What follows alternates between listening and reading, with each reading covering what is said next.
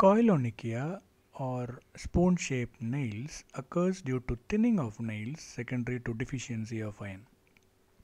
As we all know, the nail has a, a convexity when you see from the superior aspect and in iron deficiency what happens is this convexity is first lost and then the nail becomes flat and subsequently it can uh, get spooned the way it's shown in the diagram. However, koilonychia is not a specific sign of liver disease because it happens mainly commonly due to malnutrition and it can also happen in occult gastrointestinal blood loss as it can happen in peptic ulcer or duodenal ulcer. In liver disease, you can think of three possible reasons. One again can be malnutrition due to the severity of illness bleeding from the esophageal or gastric varices and hypersplenism consuming the hemoglobin RBCs and therefore leading on to anemia.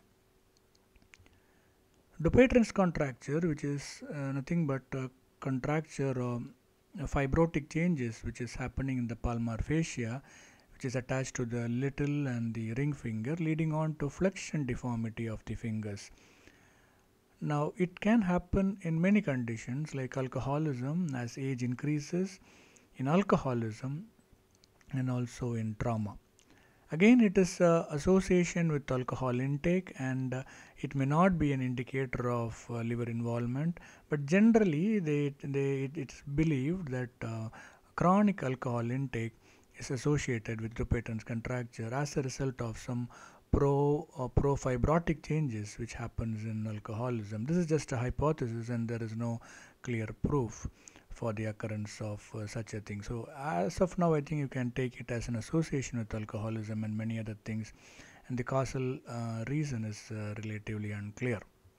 You can see more videos on clinical medicine and especially about uh, liver disease in this channel.